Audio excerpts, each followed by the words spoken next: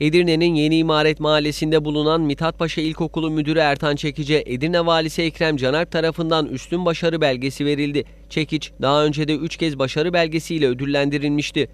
Edirne'de okulu için yaptığı çalışmalarla adından sıkça söz ettiren, okulunu güzelleştirmek için kendi imkanlarıyla büyük emek sarf eden Ertan öğretmen, pandemi sürecinde öğrencilerin derslerinden geri kalmaması için sokakta açık havada yüz yüze eğitim verdi. Öğrencilerin eğitimine katkı sağlayabilmek için balya taşıdı. Her şey eğitim için, her şey çocuklar için. Okulunu güzelleştirmek ve eksiklerini gidermek için büyük gayret gösteren başarılı okul müdürü Ertan Çekiç, Edirne Valisi Ekrem Canerp tarafından üstün başarı belgesiyle ödüllendirildi. Çekiç, televizyonumuza yaptığı açıklamada Edirne'de eğitimin daha iyi yerlerde olması için büyük çaba sarf ettiğini söyleyerek, Vali Ekrem Canerp'e yapılan çalışmaları desteklediği için ve bu desteklerden dolayı da üstün başarı belgesiyle bizleri onurlandırdığı için çok teşekkür ediyorum dedi. Biz istiyoruz ki Edirne'de eğitim en güzel yerlerde olsun.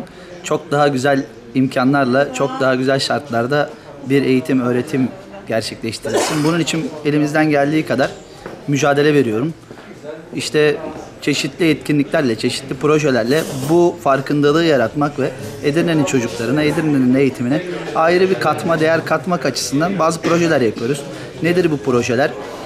İşte mahallede sınıf kurup çocuklara ek bir eğitim kazandırabilme, eksikliklerini giderebilme çalışmaları olsun.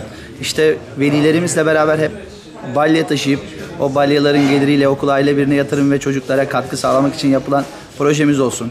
Yine mahallemizdeki velilerimiz ve mahalleliyle beraber yaptığımız temiz mahalle, temiz okul, temiz çevre projemiz olsun.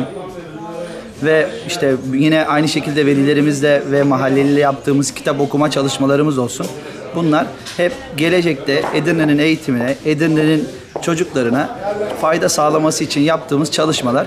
Bu çalışmaların işte farkındalığı ve öne, özellikle en önemlisi bana göre kitap okuma, kitap okumanın önemi ve okuyan insanların arttığı bir toplumun toplulukta da gelişmenin çok fazla olacağını düşünerek bu davranışların pekiştirilmesinin çok doğru olduğunu düşünüyorum ve Sayın Valimize de bu yapılan projeleri ve destekle yapılan çalışmaları desteklediği için ve bu desteklerden dolayı da bir üstün başarı belgesiyle bizi onurlandırdığı için çok çok teşekkür ediyorum.